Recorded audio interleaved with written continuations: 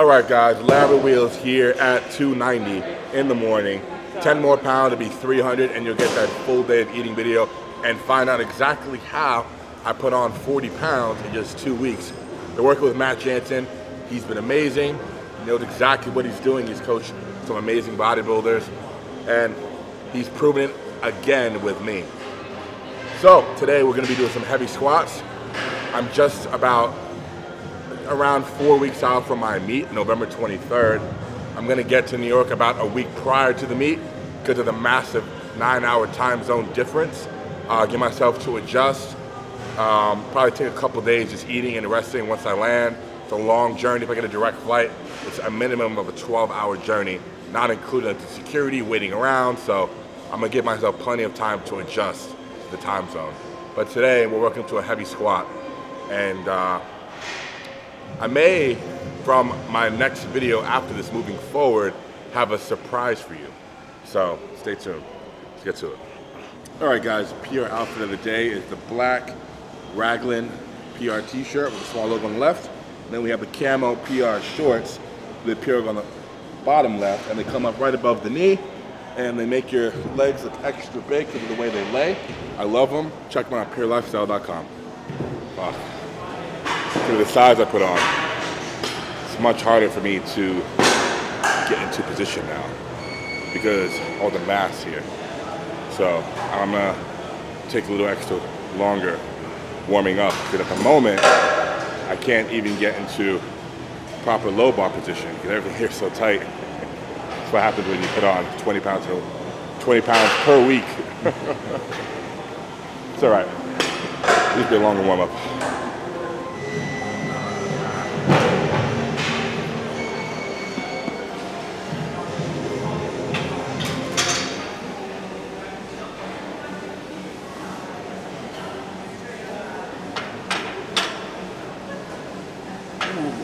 So one way to loosen that up, open up your pecs. So biggest muscle in this area right now that's causing everything to be here is the pecs. So stretch open your pecs, do it as much as you need to. Stretch, hold it, static stretching, dynamic stretching. Do a couple of sets of each, then get under the bar, do a set with the barbell, do it until it's comfortable enough where you know you can start adding weight. But if you can't get into position with just the barbell, keep stretching and opening yourself up until you can. You don't want to be all wound up here and then start adding weight. It's a recipe for injury and bad squat technique. Make sure everything up here is open up first, then start adding weight.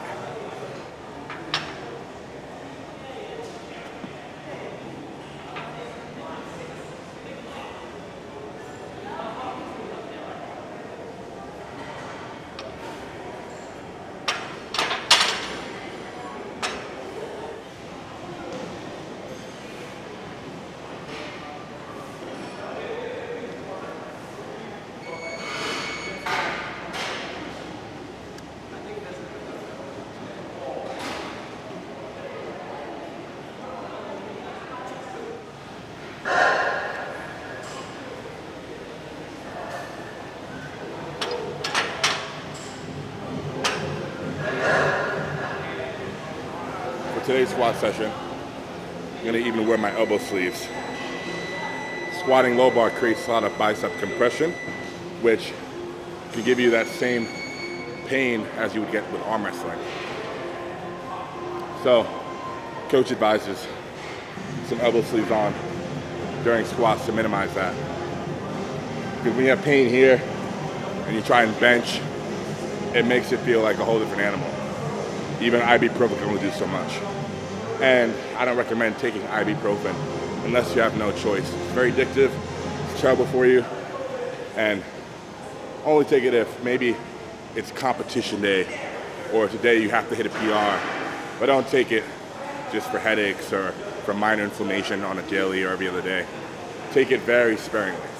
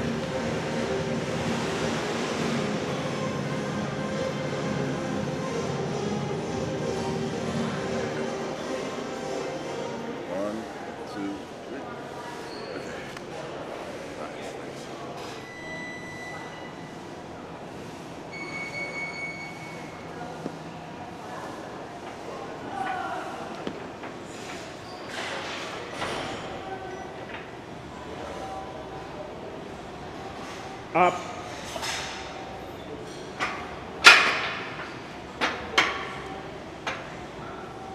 So, just a few days ago, I was able to close it, and look, I came in to reach the second hole. I have to suck my stomach way in, and forget about actually locking it in. This is just the loose way. I gotta make this probably. I might have to bring this all the way to the last hole. Not here, upward. I'm gonna have to go about here. We'll see.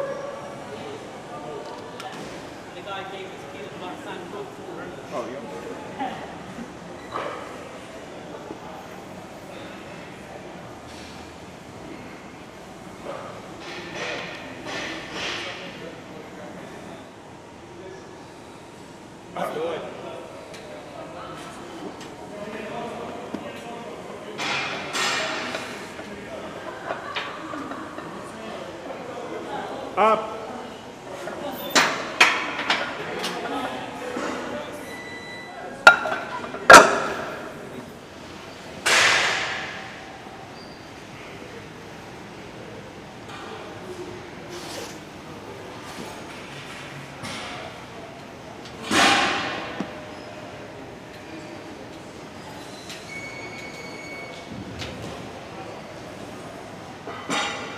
Up.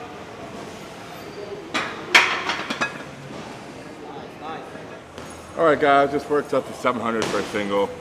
Honestly, it felt very difficult because because I've gained so much weight so quickly, I haven't been stretching at home or getting any deep tissue work or working with a PT as often as I should. I haven't seen my PT in a couple of weeks, actually. Um, but why it felt difficult would not be because I'm weaker, but when you gain weight so quickly and you don't stretch and stay mobile, for example, 40 pounds is a lot on my frame, this whole area, my hips, quads, glutes, back, everything gets all wound up. So I'm not hitting proper technique. So on the low bar squat, you're supposed to sit back, right? But you need to be mobile to do that. Or what's gonna happen is what I was feeling this whole workout is I couldn't sit back because my hips are so wound up. So I, my knees ended up going too far forward. and what happens is the weight ends up being mostly on my quads. And your quads, like your anterior chain for squats, is much weaker than your posterior. So it's not that I'm weaker, but it's just I'm not lifting with ideal leverages because I'm too um, wound up right now. I need to be opened up. So I'm gonna work with my PT, David Johnson, uh, daily, and he's gonna open me up, uh, work on my bicep, my hips, glutes, everything, so that I can hit proper depth and um, get into a proper positioning where I can lift the most. Because the, the size is there, the power is there, but now I'm missing one aspect of it, and that's the mobility. my mobility really took a hit from gaining so quickly. So I'm addressing that now. No need to go any heavier. I couldn't if I wanted to. You know, and it just goes to show like how important technique is. You know, like with proper mobility, there's no doubt I can probably work up to over 850 today. You know, close to 400 kilos. But with improper mobility, I'm hardly cracking 320. You know, so it just shows how important it is. For something like the bench press, for example, a lot of big guys are bench press specialists because you don't need mobility or have any work done to touch your chest on the bench. You can still get into a proper arch and do good technique without doing any mobility work on the bench press. So it's a totally different ball game when it comes to squat and even deadlifting. Same thing with deadlifts. When you get into proper positioning on the deadlift, you need to be able to sit back behind the bar, and sit into your hips. If you're too wound up in here, a lot of big guys have that problem. Even my last deadlift session, I noticed it. I was practically stiff legging it. I wasn't sitting into my hips at all because they're just too wound up. They need to be opened up. I need to become more mobile. So that's what my PT is gonna do. And uh, I'll be I'll be ready. Good thing it's still have a month, and I'm nipping it in the butt. Uh, four weeks is plenty of time to open myself up. I still have um, one more heavy squat session, and I'm confident I'll be ready and open up and squat properly for that then. Uh, but right now, I'm actually gonna bench because my bicep inflammation from squats kick in within a couple of days, usually when I have to bench. So what I've done in the past and what's worked for me is just squatting and benching on the same day. So essentially I'm only training two days a week, but that's usually only during the peaking phase, the final four weeks when my body starts to take a beating and all the hard training from the hypertrophy and strength phase catches up to me. So that's, that's what the plan is now.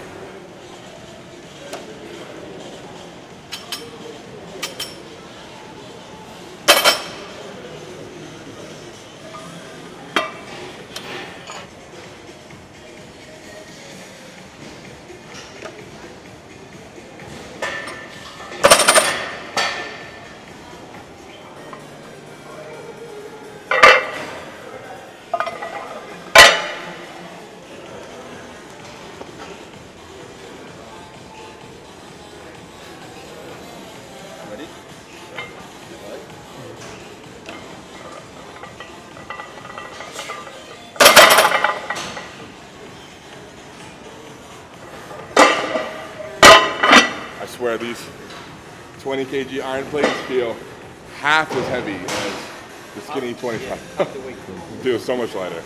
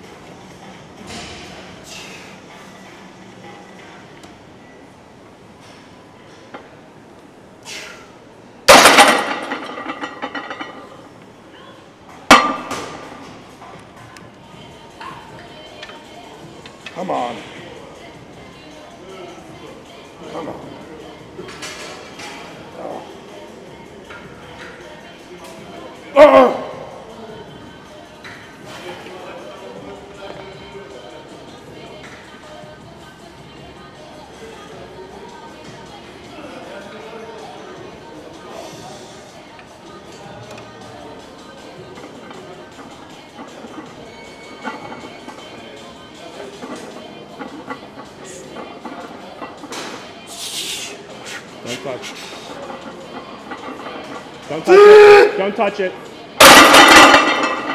Yes. So like I was telling you guys, bench press requires no mobility. Um, unless you have an injury, you could be 300 kilos, a 600 pound piece of lard and still touch your chest on bench press. It, it requires no mobility. So I just hit a PR here. Um, 545 for five. They're all paused. No, but not competition paused, but it's not necessary for five reps. Um, but they weren't bounced, that's for sure. It wasn't a touch and go. I definitely paused, then pressed. And that was definitely a PR. I Never did five reps with uh, 545. Pause, nonetheless. So I'm very happy with that. I know my strength is good, power is good. But I think it's time for a long overdue introduction. First, we're gonna do Sharif. Come here, man, in front of the camera. Usually he's behind the camera, kind of the behind the scene man. Hey, want to sit on my lap, bro? Like, what the fuck? so, I met Sharif, uh, was it eight months ago in March? Yep, March. Uh, he was actually Thor's driver during WUS, taking Thor around the city, and that's how I got to know Sharif. But after Thor left, I stayed. Sharif lives here for a years, born and raised. So we got close, and now we work together, we live together, do pretty much everything together. And uh, yeah, he's been a great help, showing me around Dubai. Um, he's been a great translator as well. He speaks four different languages. He's 23. He's awesome. Appreciate you. Yeah, man. No doubt. Very honest. Yeah, I mean, there's not a bad bone in this guy's body. I'm telling you. I've never met somebody who's just so honest and pure. Just such an innocent guy. You know, he could be a serial killer for all I know, but as far as I know, he's uh, just an honest, good guy. And then today, we just made it official. I have a very jacked and black workout partner, which is now going to be Andrew. Uh, you've probably seen him on my bench PR. And yes, sir. Sir. It's about to get very serious. Um, he is very serious. You won't find him on Instagram or YouTube. Very surprisingly, he's very unique in that sense. If I'm, I mean, any guy that I've known with this build, height, the looks, the strength, everything, will be all over Instagram and YouTube, but he's just not a part of it. You don't have, you, you don't even have a handle. You don't even have an account, do you? No, He doesn't, he doesn't even have an account. just me. But can you tell us like where you're from and when you've been here? I'm from Nigeria. Nigeria. Uh, yeah, exactly. Yeah, ex-military. Two, two years in the Navy. Ex-military, two years in the Navy. And um, I developed this passion for bodybuilding, for fitness anyway. 2007. I'm actually uh, an electrical engineer, engineering student. Oh, Yeah. yeah. engineer. Yeah, electrical engineering. Yeah. Well, I switched to fitness. It's a passion. It's inbuilt. Yeah. Self-built machinery. You know, unfortunately for Andrew, there haven't been, there hasn't been anyone in Dubai that he's come across at the moment to give him a proper spot and motivation. He's kind of been lone wolfing it for a while here, as have I really. You know, for a while back, I trained with Mark Boyd for Strongman, but honestly, Mark has his own group. He's very busy working for WUS and training clients, so it just doesn't work. For, our schedules just don't ever match up, so it didn't work out. However, I'm very thrilled to have, you know, two workout partners. I mean, I have Sharif here, you know, and now I have a jacked and black workout partner. He's super strong. Um, you'll see slowly as we work together and do workouts together. Right now, he's just spotted me. To, I think you, you trained earlier today, yeah? Yeah, earlier today. So uh, he took time out of his day to come and spot me, even though he trained already. So I really appreciate that. But in the future, we're going to work out together. So this is just what a beast he is, and I'm going to motivate him to start posting his lifts and basically his life on Instagram and YouTube because I think he'll motivate a lot of people. I think he has something special, and I think uh, people want to see it. You know, and yeah, I'm not going to force it, but he seems like he's down from what from what I've heard. You know, I feel like he's down to try it, and you know, with my guidance and uh, assistance and his drive, we're going to be a threat. So stay tuned, guys. There's so much coming now. I'm excited. Um, a few more weeks of training before I leave to New York for, for a week. And yeah, keep you guys updated.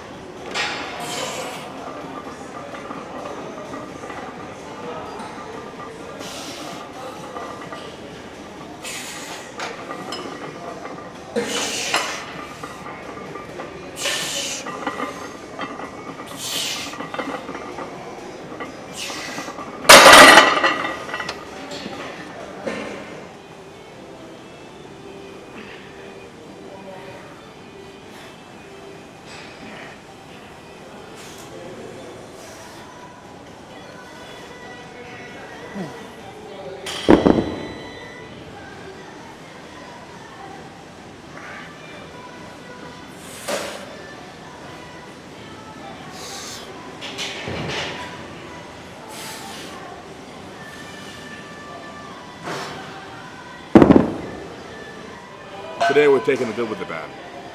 We've learned that I've become far too with the squat, but that's something that can be corrected very quickly. Like within a matter of a few days of working with a PT daily, will get me squatting ass to grass, chest up and erect, no problem.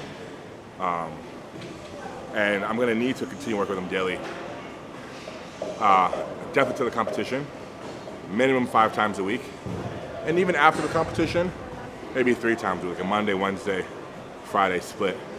Because I intend on growing beyond 310, like 330-ish. As I've been saying to my close circle, for bodybuilding, powerlifting, strongman, I'm too tall to be walking around at 300, 310. I mean, I can do all right, but if I want to be amongst up there with the best, I need to be at least 320, 330. I need, because I'm so tall, I gotta fill everything out. So, that's where my head's at. Um, I've definitely learned over the last couple weeks how important it is to really work with a close with a PT closely, especially when going up in weight so quickly, or even if you're dropping weight very quickly. Uh, bench PR, very happy with that. Five reps, not competition pause, but not a touch and go and a bounce either. So very solid.